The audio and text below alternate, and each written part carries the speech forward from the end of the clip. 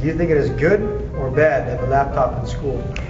I think in this age of technology, it is essential that we have laptops in the classroom. I think that it gives students more um, immediate access to information.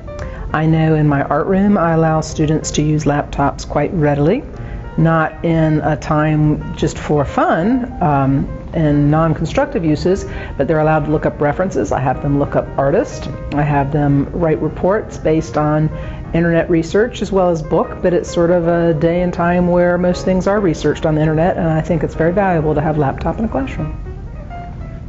I think it's good to have them in there. I think it's if it's kind of annoying um, until students learn how to self-discipline themselves to use it appropriately. Um, in this age, there's so much technology, whether it's texting, whether it's phones, whether it's laptops. At some point, you have to um, train yourself to have self-discipline on when and where to use it. That's really important to learn. Um, by the time you have a job, most most jobs will have technology in place, and if you're using it for things you're not supposed to be using it for, then you will have a problem.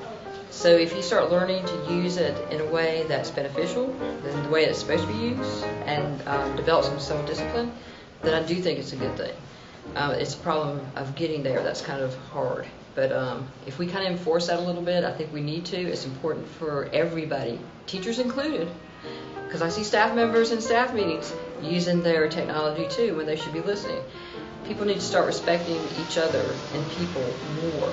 And, um, when they start doing that, then technology, I think, will come into balance with the way it should be used. I think it's good because it saves paper and it gives students more responsibility for their work and it gives teachers more opportunities for a variety of types of lessons and um, it gives students a little bit more freedom when researching so we don't have to go to the library to research we can do it right in the classroom if you need to look up something really quickly i think there are issues with distractions but i think overall laptops are a good thing to have in school I think it's a good thing because we can have more learning opportunities. I think it's a good idea. It's a good resource for students to have laptops available to them in school. I think it can be both good and bad. Good, as in learning education, writing documents on there, saving paper, saving the environment, and stuff like that. Also, it can be bad or good for the students, but bad for the teachers when I have time to schedule things on selling or certain things that I have to do on the computer at a certain time that I use that aren't actually educational things, but it's also good to have those for the students, but probably not for the teachers. I think computers can be a major distraction in class. Some students don't have the maturity to be able to handle themselves and stay on task with their assignments.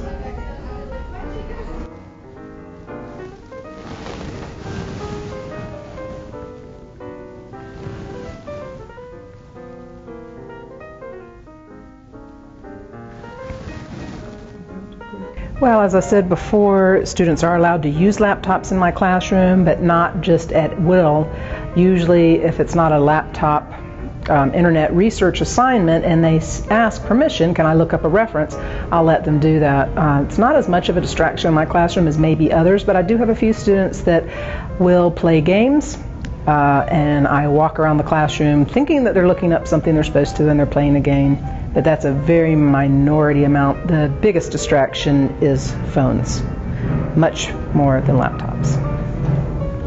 God only knows. I don't know what kids are using laptops for. I'm sure I have no idea um, of the concept of what can be done on laptops um, when it comes to the younger generation. There's lots of ways that you can stray. There's no doubt about it. And I think if kids wanted to, to stray, they can. They'll find ways to do it. I think that's true of anybody that's using technology. I don't care if you're a professional. I don't care if you're an adult. I don't care if you're a student. If you want to, um, you know, disregard the rules, you'll find a way to do it. The biggest distraction of students having laptops in schools is staying on task with the assignment. They can uh, constantly trying to check their email or play games or watch soccer games. So just does inhibit them from getting their work done. I think one of the biggest distractions is eBay.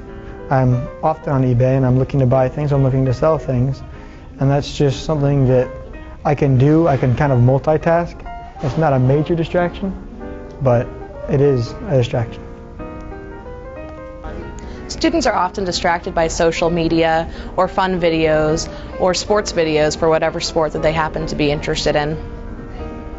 Well, I probably am not familiar with which ones should be blocked, unfortunately, because I am not the youngest teacher here. But I do know that there are websites that are blocked that we could access in the art room that would have valid art images, but the images may be mixed with something that is slightly inappropriate. But because the blocking program isn't familiar with which which is appropriate and which isn't, it puts a full block on everything. And I know there have been some frustrations with students trying to look up images.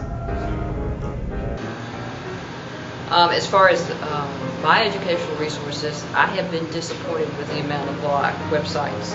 Um, some of the websites that I've used in the past that have been really good um, have been blocked, and it takes a couple of them in particular. It's really hard to get them unblocked. I don't think it's because I don't think it's because our IT folks don't want to. I think it's our server, the way it's set up, um, kind of filters out some things that I think are important for us to be able to get to. I don't know what the solution is to that problem, but it would be. I mean, I think at some point, you know, if we have a freer use of technology, uh, internet, and we encourage our students to um, build some dis- self-discipline, we need to do that because eventually they're going to get to these sites anyway. Um, and if you start developing some good habits now, you know, which is what we really need to do, I think that's the key right there.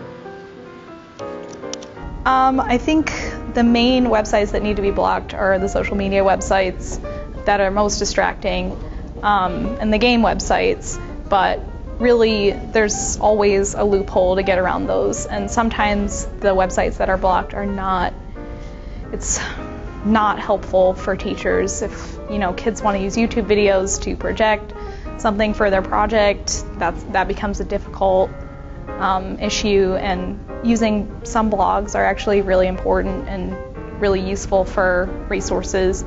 So I think it goes both ways, but yeah. Are too many blocked websites? I think it's an issue of being too many or too few website, websites being blocked. I think the issue is which ones are being blocked where we could have access to some educational videos like through YouTube. I think there are way too many blocked websites actually.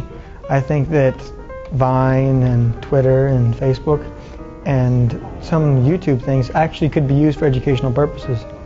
Now I feel that they should not allow you to post things or view other people's comments, but such things as educational places on Facebook, because there are educational places there, and reading blogs and stuff that would be very useful to have to be able to see.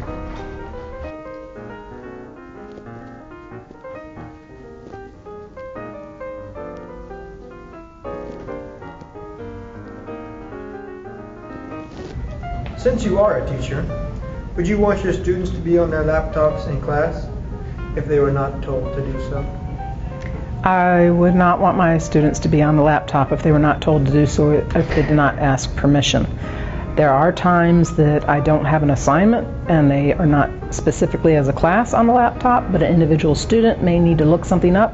So I think it's fine that they have their laptops there, but not unless they've had permission or a class assignment. They don't need to randomly be on laptops and be distracted from the artwork they're supposed to be creating. I think it should be the student's choice to be if they want to focus in class or not. It's like some kids may multitask on their computers. It may help them, so you never know. Do you think it is good or bad to have? You. Bloopers are good. No, you have No. nothing to put I'm it in. smiling. Yes, You redo have to it, have it redo put it. in. Redo it. Smile. I have to, I have You're such I have a to girl. let chopped off. Your head, her head is chopped off. Don't press record. You have to have the question in it. It's it. taking too Just hold on. If you were a teacher, would you want your students to be on their laptops in class, as you are a teacher?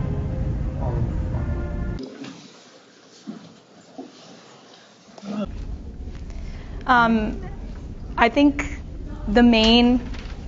Oh, go ahead. Ask your question. I screwed that up. Do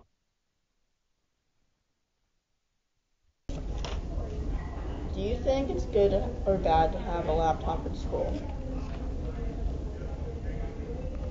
Never told me it was being recorded. Restart. I'm gonna beat you.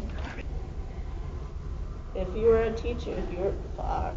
If you- If you were a teacher, would you want your students to be on their laptops in class if they were not supposed to?